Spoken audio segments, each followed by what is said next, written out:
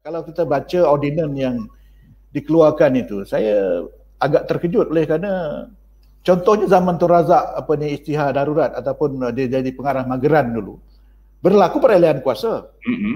Kita jangan lupa uh, Tun Razak jadi Perdana Menteri menggantikan uh, Tengku Abdul Rahman sewaktu darurat. Ya. Jadi Baik. maknanya kalau orang kata darat musim darurat ataupun dalam keadaan darurat tak boleh berlaku perayaan kuasa itu bohong sebab Tengku Abdul Rahman letak jawatan masa darurat apa? Bukan. September okay. tahun 70 masih darurat lagi ketika itu. Hmm. Kemudian hmm. uh, dia orang kata oh apa, apa, parlimen tak boleh keadaan darurat. Parlimen bersidang tahun 71. Darurat sejak bulan hmm. Mei 69.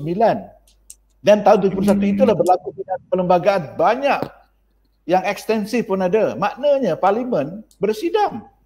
Jadi yang sekarang ini bila ordinan ni kata sampai ke peringkat kuasa agung itu dibekukan kuasa agung untuk memanggil memprorok membubar parlimen dibekukan kalau tengok section 14 uh, 1A tak silap saya uh, ordinan darurat kuasa-kuasa perlu 2021 di situ kuasa agung itu dibekukan oleh Muhyiddin.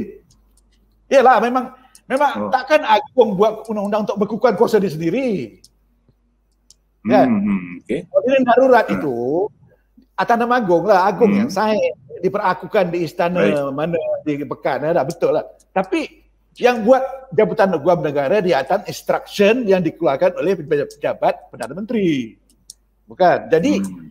Section 14 itu saya katakan tadi membekukan kuasa agung. Jadi isunya sekarang ini, adakah perkara itu hmm. disedari oleh Tuan Agong dan diperkenankan hmm. oleh Raja-Raja Melayu? Tadi okay. orang kata kita derhaka kan? Yang derhaka siapa ha. sekarang?